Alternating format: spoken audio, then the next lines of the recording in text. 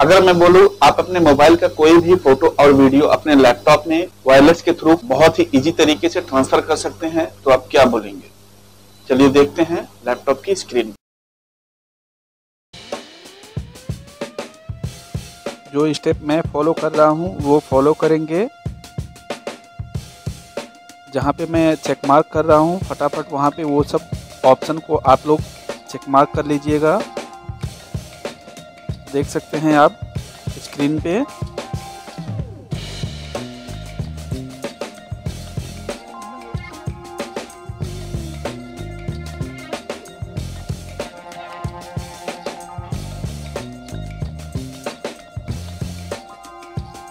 और ये सब चेक मार्क होने के बाद आप सेव एंड चेंजेस कर लेंगे। मैं दिखा दे रहा हूँ।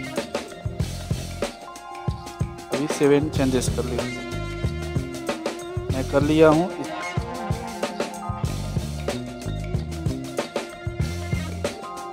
ये ऑप्शन आपको नहीं दिख रहा है तो मैं बता रहा हूँ कहाँ से ओपन होगा। पर्सनलाइज में जाएँगे। और डेस्कटॉप आइकॉन वहाँ पे देखेंगे। यहाँ पे चेक मार्क करके अप्लाई करके ओके कर देंगे।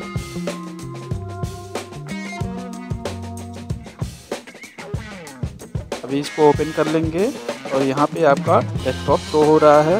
राइट क्लिक कर लेंगे और प्रॉपर्टीज़ में क्लिक करेंगे। शेयरिंग में जाएँगे। एडवांस शेयरिंग ऑप्शन जो जो ऑप्शन को मैं क्लिक कर रहा हूँ, जहाँ पे आप वीडियो में देख के सेम वैसे ही फॉलो कीजिएगा।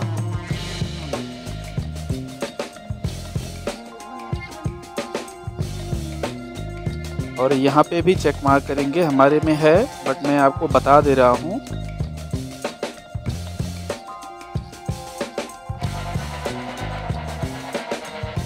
कैंसिल कर लेंगे, फिर से राइट क्लिक करके प्रॉपर्टीज़ ओपन करेंगे।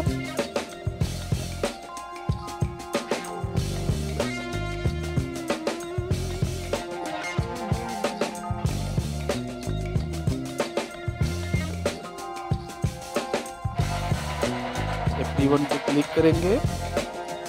ओके ओके और यहाँ पे सबको अलाउ कर देंगे।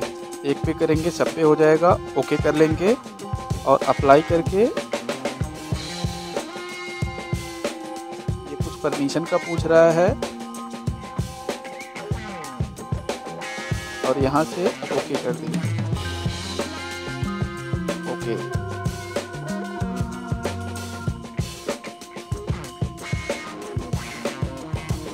इसके लिए इंटरनेट का ज़रूरत नहीं है। मैं अपने मोबाइल के हॉटस्पॉट को ओपन कर ले रहा हूँ और कनेक्ट कर ले रहा हूँ। आप देख सकते हैं, मैं इंटरनेट नहीं यूज़ किया हूँ। आपको मैं पूरा सब डिस्प्ले में दिखा दे रहा हूँ।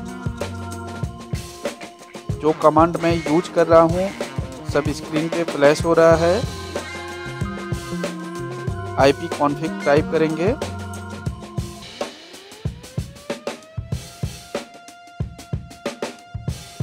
और जो मेरा ये आईपी है, आप देख सकते हैं।